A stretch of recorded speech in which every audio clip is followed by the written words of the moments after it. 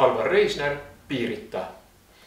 Äh, Alvar Reisner on esitanud Norra kunstioksjonile kaks sellist nostalgiahõngulist tööd ja kui teise töö puhul, mis kujutab siis maastikku Moskvitšiga, võib oletada, et tegemist on autori mälupildiga, siis äh,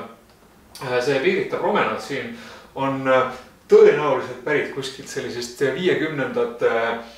noh, ma ei tea, turismibrošüürist on sihuke ilusa idüllilise elu illustratsioon